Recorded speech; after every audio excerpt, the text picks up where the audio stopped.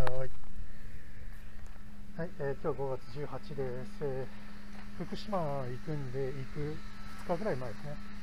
まあ、一応薪を持ってくっていう話だったんだけど薪が相当増えました。まああそこの切り株、まあ、レンタルチェーンソーまた借りてきたんで今日であの襖とか切れるもの全部ぶった切って、えーもう車に積み始めようかなって思います。そしてとうとうこの邪魔くさかったこの切り株も切り刻んでちょっと車乗せますね。まあ今日が晴れたんでもうちょい晴れて乾いてから切ろうかなと思ったんですけどちょっと日程的に無理でちょっと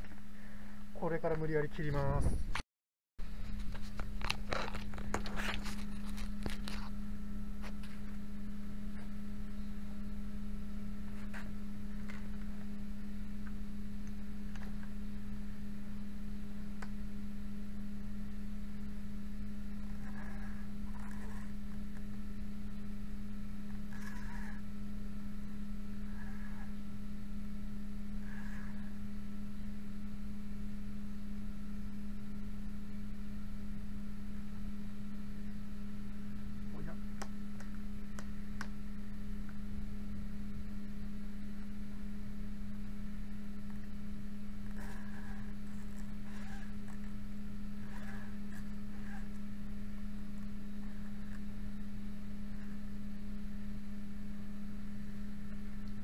てからやらないとダメなんだけどちょっとこれ回らないね。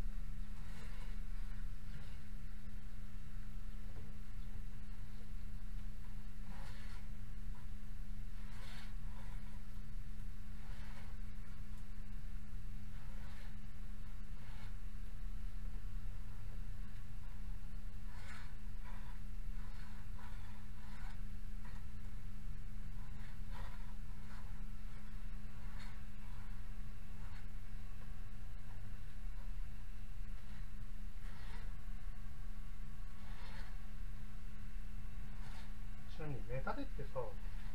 うやってやるんだったっけななんかジュって回りながら押すっていうのは覚えてるけどね。ああでもやっぱりひどいな。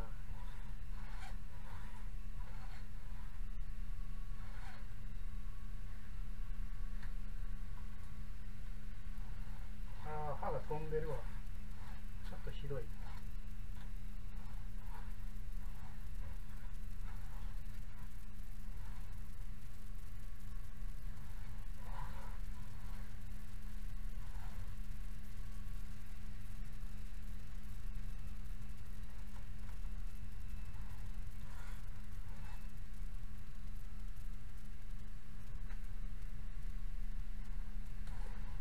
なんだ歯が欠けてるわもうどう